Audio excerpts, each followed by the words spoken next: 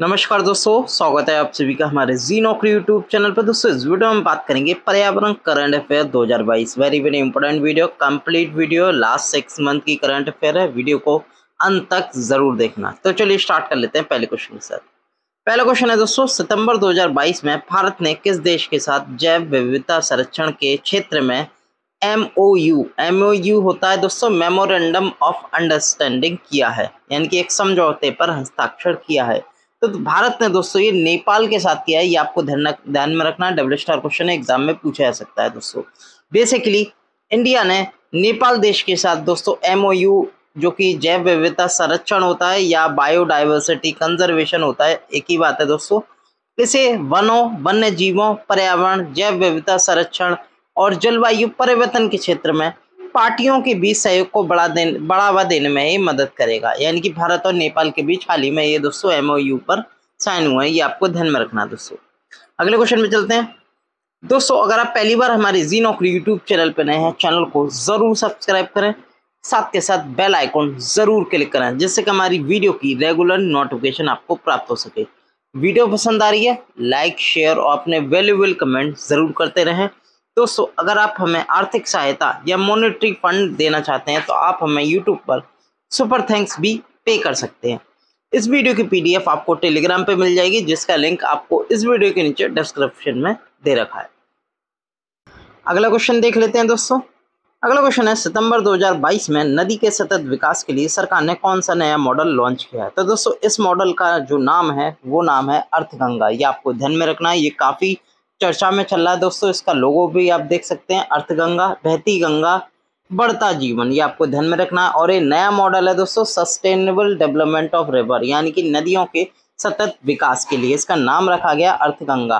Basically इसका जो objective है, यह अवधारणा पूर्व में गंगा नदी से संबंधित आर्थिक गतिविधियों पर ध्यान केंद्रित करके गंगा और उसके आसपास के क्षेत्रों के सतत विकास पर केंद्रित है। यानी कि गंगा के आसपास जितनी भी नदी हैं उनसे रिलेटेड जितने भी शहर हैं, उनसे विकास किया जाएगा। साथ के साथ जो शहरों के आसपास जो दूषित हो गई है दोस्तों नदी, उनका भी विकास किया जाएगा प्रॉपर तो इस मॉडल का नया नाम रखा है अर्थगंगा। ये आपको ध्यान में रखना है दोस्तों। अगले क्वेश्चन पे चलते हैं। सितंबर 2022 में भारत का पहला तरल प्राकृतिक गैस या लिक्विफाइड नेचुरल गैस एलएनजी ईंधन वाला ग्रीन ट्रक मैन्युफैक्चरिंग प्लांट कहाँ लॉन्च किया गया? है तो दोस्तों ये इंडिया पहला LNG fuelled green truck manufacturing plant है, जिसका उद्घाटन किया था नितिन गडकरी के द्वारा। कहाँ पर? पुणे में। पुणे का एक दोस्तों शहर है, चाकन। पुणे से छोटा है दोस्तों, पुणे में स्थित है चाकन। तो चाकन में दोस्तों ये इंडिया का पहला LNG fuelled green truck manufacturing plant है लॉन्च किया गया ये आपको ध्यान में रखना है। ये किसके द्वारा अनबिल्ड किया गया यानी कि बनाया गया ब्लू एनर्जी के द्वारा बनाया गया और इसका जो इनाग्रेशन है, वो जो भारत के जो सड़क मंत्री हैं, जिनका नाम है नितिन गडकरी, उनके द्वारा इसकी लॉन्चिंग की गई। इंडिया का पहला LNG fuelled green truck manufacturing plant है जिसका उद्घाटन पुणे, महाराष्ट्र में किया गया, पुणे के चाकन में। यह भी आपको ध्यान में रखना है। अगले क्वेश्चन पे चलते हैं दोस्तों। सितंबर 2022 में भारत में कुल कितने रामसर स्थल हैं? तो दोस्तों, अभी लेटेस्ट आंकड़ों के हिसाब से अभी जो स्थल है, वो भारत में पिचहत्तर हैं। ये आपको ध्यान में रखना है। टोटल नंबर ऑफ़ साइट पिचहत्तर हो गई है। पहले कम थे, अब बढ़कर सेवेंटी फाइव हो गई, ये आपको ध्यान में रखना है। अगर मैं वर्ल्ड लेवल की बात करूँ तो सबसे ज़्यादा जो रामसर साइट है, वो यूके में है, जिसमें करीब एक सौ पचहत्तर साइट यूके में घोषित है। तो वर्ल्ड में सबसे ज़्यादा जो रामसर साइट है, वो इंग्लैंड में है और भारत में पिचहत्तर है। कोई मुझे बता सकता है कि भारत का कौन सा ऐसा राज्य है, जहाँ सबसे ज़्यादा रामसर साइट पाई जाती हैं या अधिसूचित हैं? कमेंट में ज़रूर बताइएगा। अगला क्वेश्चन देख लेते हैं। अगस्त में अगस्त 2022 में किस संस्थान ने स्वस्थ पर्यावरण को मानव अधिकार माना? तो दोस्तों ह्यूमन जो हेल्थी एनवायरनमेंट है, वो ह्यूमन राइट किसने डिक्लेयर किया? तो दोस्तों, ये किया संयुक्त राष्ट्र महासभा के द्वारा। इसे इंग्लिश में हम कहते हैं यूएन जनरल असेंबली या यूएनजी के द्वारा ये माना गया है। उसने हेल्थी एनवायरनमेंट को ह्यूमन राइट डिक्लेयर किया ये आपको ध्यान में रखना दोस्तों। इसके लिए दोस्तों वोटिंग हुई थी यूएन में। और तो आपको पता है दोस्तों यूएन के कितने मेंबर है? तो कुल मिला के एक सौ तिरानवे मेंबर है, जिसमें आप फ़ोटो में भी देख सकते हैं दोस्तों। एक सौ इकसठ वोट पड़े थे फेवर में, और बाकी कुछ देशों ने वोट नहीं किया, कुछ देशों ने विरुद्ध वोट किया। लेकिन ये माना गया है कि हेल्थी एनवायरनमेंट को अब ह्यूमन राइट घोषित कर दिया गया है किसके द्वारा संयुक्त राष्ट्र महासभा के द्वारा ये आपको ध्यान में रखना है। बेसिकली इस प्रस्ताव इस प्रस्ताव के अनुसार स्वच्छ, स्वस्थ और सतत पर्यावरण का अधिकार मानव अधिकार बन जाएगा। ये आपको ध्यान में रखना है। अगले क्वेश्चन पे चलते हैं। अगस्त 2022 में किस राज्य में एक दुर्लभ पौधे, भारतीय लिपस्टिक पौधे की खोज की? दोस्तों, ये लिपस्टिक की तरह लगता है। ये पौधा बेसिकली ये पाया जाता है अरुणाचल प्रदेश में। और ये पहले भी पाया जाता था, लेकिन अभी इसकी दोबारा रीडिस्कवर हुआ है दोस्तों, सौ सालों बाद। ये आपको इम्पोर्टेंट एग्ज़ाम में पूछा जा सकता है। इसका जो नाम है, इसे हम लिपस्टिक प्लांट भी कह सकते हैं। दोस्तों बेसिकली इसका जो बोटेनिकल नेम है, वो एस्किनेंथस मोनिटेरिया डन है दोस्तों, और इसे इंडियन लिपस्टिक के रूप में जाना जाता है। भारतीय लिपस्टिक पौधे के रूप में भी जाना जाता है। हाल ही में इसकी खोज अरुणाचल प्रदेश में हुई। कितने साल बाद? सौ साल बाद। अगला क्वेश्चन देख लेते हैं। अगस्त 2022 में हाल ही में देश में अपना पहला जैव विविधता रजिस्टर या बायोडाइवर्सिटी रजिस्टर तैयार करने वाला पहला मेट्रो शहर कौन बन गया है? तो दोस्तों, ये बन गया कोलकाता, जो कि पश्चिम बंगाल की राजधानी है और ये पहली, भारत की पहली मेट्रो सिटी बन गई है। जैव विविधता रजिस्टर तैयार करने वाले, ये आपको ध्यान में रखना है दोस्तों। और बेसिकली इस दस्तावेज़ का जो निर्माण है, वो कोलकाता नगर निगम बेसिकली कोलकाता जिला है सिटी है। इसका एक नगर निगम है दोस्तों और इसकी एक मैनेजमेंट कमेटी है, जिसका नाम है बिडोवर्सिटी मैनेजमेंट कमेटी, बीएमसी के द्वारा ये किया भी गया है इस दस्तावेज़ का निर्माण। यानी कि जो दस्तावेज़ का नाम है, जैव विविधता रजिस्टर, इसका निर्माण बीएमसी के द्वारा किया गया है, जो कि कोलकाता की बिडोवर्सिटी मैनेजमेंट कमेटी है, जो कि नगर निगम से रिलेटेड है। अगले क्वेश्चन पे देख लेते हैं। अप्रैल 2022 में भारत में पहला पोर्टेबल रूफटॉप सोलर सिस्टम कहाँ स्थापित किया गया? तो दोस्तों, इंडिया का पहला पोर्टेबल रूफटॉप सोलर सिस्टम है जो कि स्थापित किया गया गुजरात के गांधीनगर में। गांधीनगर क्या है? राजधानी है गुजरात की और यहाँ पर एक टेंपल है दोस्तों, जिसका नाम है स्वामी नारायण अक्षरधाम टेंपल और यहीं पर दोस्तों, भारत का पहला पोर्टेबल रूफटॉप सोलर ये सिस्टम स्थापित किया गया ये आपको ध्यान में रखना कहाँ पर? गांधीनगर में। अगले क्वेश्चन की मैं बात करूँ। अप्रैल 2022 में भारत की पहली कार्बन न्यूट्रल, कार्बन तटस्थ पंचायत कौन बन गई है? तो दोस्तों, ये जो बन गई, ये पल्ली पंचायत बन गई है बहुत बार करंट अफेयर में चर्चा में रही थी। पल्ली पंचायत, दोस्तों, जो कि जम्मू कश्मीर संघ शासित राज्य में स्थित है, ये आपको ध्यान में रखना दोस्तों। और इसमें करीब 500 किलोवाट का सौर ऊर्जा संयंत्र हाल ही में समर्पित भी किया गया पल्ली गाँव में। यानी कि, दोस्तों, ये ज़ीरो टू प्रोड्यूस करती है, यानी कि कार्बन डाइऑक्साइड प्रोड्यूस नहीं करती, दोस्तों। ये कार्बन न्यूट्रल की पहचान होती है। तो दोस्तों, पल्ली पंचायत देश की पहली कार्बन न्यूट्रल पंचायत बन गई है। अगला क्वेश्चन देख लेते हैं दोस्तों, अप्रैल 2022 में किस देश ने दुनिया की सबसे बड़े इलेक्ट्रिक क्रूज जहाज़ की यात्रा संचालित की? ये आपको ध्यान में रखना वेरी वेरी इंपॉर्टेंट क्वेश्चन है। ये विश्व का सबसे बड़ा इलेक्ट्रिक क्रूज है दोस्तों, और इलेक्ट्रिक की खासियत होती है, पर्यावरण एफिशिएंस होता है, यानी कि पर्यावरण को हानि नहीं पहुंचाता। तो इलेक्ट्रिक क्रूज है दोस्तों वर्ल्ड का लार्जेस्ट इलेक्ट्रिक क्रूज शिप है। और ये लॉन्च किया चीन देश ने। ऐसे काम दोस्तों चाइना ही लॉन्च करता है दोस्तों। चाइना ने लॉन्च किया इस क्रूज शिप का, याद रखना दोस्तों। Yangtze river three gorges one ये इसका नाम है क्रूज का, जो कि डेवलप किया गया है यांगजी पावर कॉरपोरेशन लिमिटेड के द्वारा। ये आपको ध्यान में रखना है दोस्तों यांगजी जो है, एक तरह की रिवर है और वहीं पर दोस्तों ये लॉन्च भी किया गया है। ये चाइना का सबसे बड़ा या विश्व का सबसे बड़ा इलेक्ट्रिक क्रूज है, पर्यावरण एफिशिएंट भी इसे बनाया गया है। अगले क्वेश्चन पे चलते हैं। अप्रैल 2022 में देश की पहली स्टील रोड का निर्माण किस शहर में किया गया? कई बार मैं आपको बता भी चुका हूँ, ये इंडिया की पहली स्टील रोड है, जो कि गुजरात के सूरत में ये बनाई गई है। ये आपको ध्यान में रखना है बेसिकली स्टील का जो जितना भी वेस्ट होता है या कचरा होता है दोस्तों, उससे ये निर्मित की गई है। और करंट में दोस्तों, एक और स्टील स्लैग रोड चर्चा में रह रही है, ये आपको ध्यान में रखना है।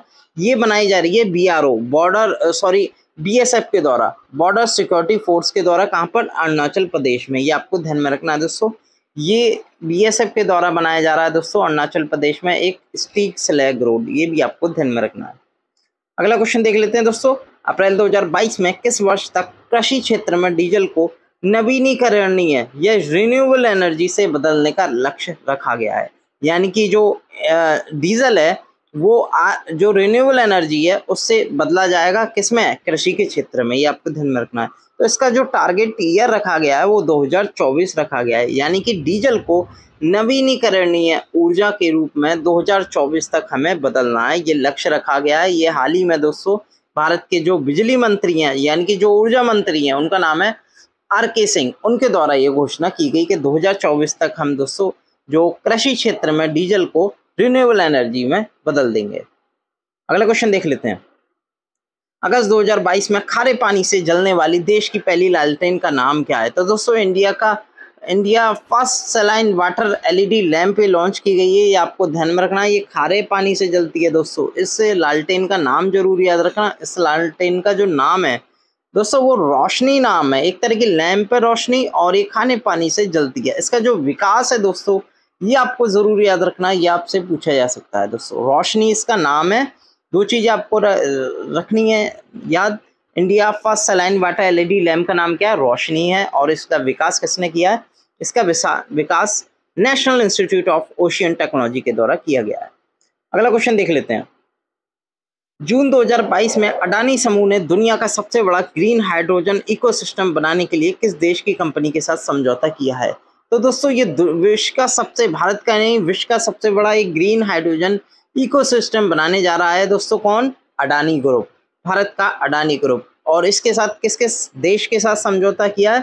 तो दोस्तों, ये क्या है? फ्रांस देश के साथ, ये आपको ध्यान में रखना है दोस्तों। फ्रांस की एक कंपनी है दोस्तों, जिसका नाम है टोटल एनर्जी यानी कि अडानी ने टोटल एनर्जी के साथ वर्ल्ड का सबसे बड़ा ग्रीन हाइड्रोजन इकोसिस्टम बनाने के लिए अपना करार किया है, ये आपको ध्यान में रखना है। इसमें जो अडानी ग्रुप है, वो इन्वेस्ट करेगा करीब 50 बिलियन डॉलर, ये भी आपको ध्यान में रखना है अगले क्वेश्चन की मैं बात करूँ, अप्रैल 2022 में गधों के लिए, यानी कि जो डंकी होती हैं, गधों के लिए भारत का पहला संरक्षण पार्क के शहर में स्थापित किया जा रहा है। यानी कि India first donkey conservation park कहाँ स्थापित किया जाएगा?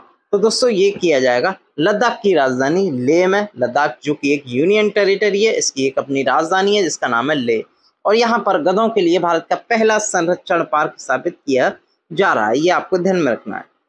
अगले क्वेश्चन पे चलते हैं।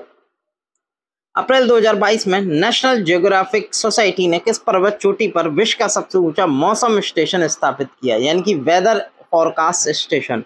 तो दोस्तों, ये वर्ल्ड का हाईएस्ट वेदर स्टेशन स्थापित किया जा चुका है। कहाँ पर? माउंट एवरेस्ट पर। यह आपको ध्यान में रखना है दोस्तों माउंट एवरेस्ट जो कि जिसकी ऊंचाई करीब 8,830 मीटर है दोस्तों और 8,848 पॉइंट कुछ है दोस्तों एक्चुअल में लेकिन ये जो वेदर स्टेशन है ये 8,830 मीटर की ऊंचाई पर एल्टीट्यूड पर स्थापित किया गया है। किसके द्वारा? नेशनल जियोग्राफिक सोसाइटी के वैज्ञानिकों के द्वारा। ये आपको ध्यान में रखना है दोस्तों। और माउंट एवरेस्ट पर ये सबसे ऊँचा मौसम स्टेशन स्थापित किया गया। अगले क्वेश्चन पे चलते हैं दोस्तों। अप्रैल 2022 में बायोगैस या खाद अवशिष्ट से संचालित भारत का पहला ईवी इलेक्ट्रिक वाहन चार्जिंग स्टेशन की शुरुआत हाल ही में कहाँ की गई? तो दोस्तों India first biogas powered EV charger है दोस्तों, जो कि लॉन्च किया गया महाराष्ट्र की राजधानी मुंबई में। ये आपको ध्यान में रखना है। किसके द्वारा लॉन्च किया गया? एक कंपनी है जिसका नाम है एरो केयर क्लीन एनर्जी उसके द्वारा दोस्तों, इस चार्जिंग स्टेशन की शुरुआत की गई, जो कि दोस्तों जैव ईंधन से चलता है, जो कि जैव ईंधन से ईवी चार्ज करता है, यानी कि जो जितनी भी कार है, उनको चार्ज किया जाता है।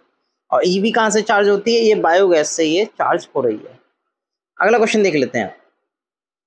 अप्रैल 2022 में भारत में पहला पवन और सौर हाइब्रिड प्लांट कहाँ शुरू किया गया है? तो दोस्तों India first wind solar hybrid power plant है।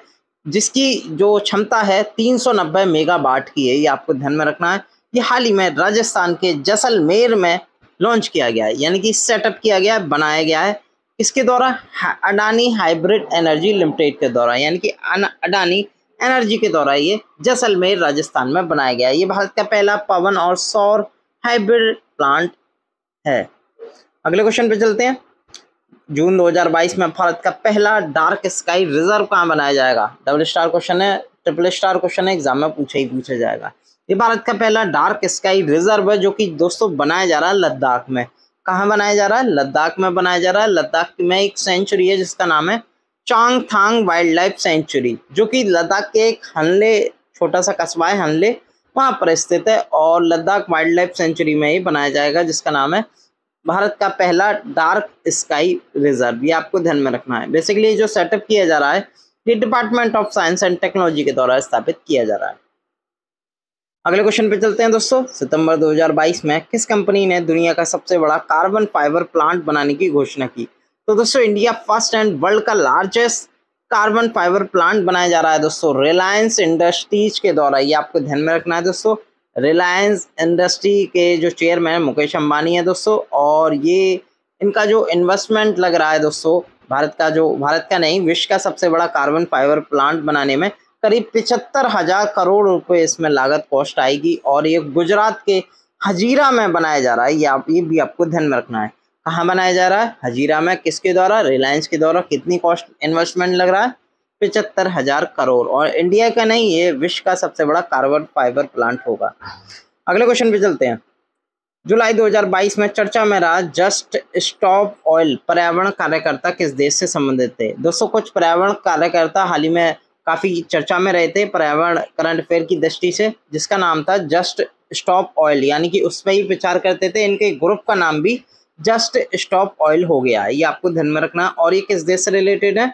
ये दोस्तों, इंग्लैंड देश से रिलेटेड है यूनाइटेड किंगडम से रिलेटेड है। बेसिकली यूके में ये प्रदर्शन कर रहे हैं, जो नई नई कंपनी है दोस्तों फॉजल फ़ूड से रिलेटेड उनको उनका प्रोडक्शन रुकवाने में, उनको लाइसेंसिंग दिलवाने में ये प्रदर्शन, यानी कि विरोध प्रदर्शन कर रहे हैं। इनके ग्रुप का नाम है जस्ट स्टॉप ऑयल और हाल ही में काफ़ी चर्चा में भी रहे थे।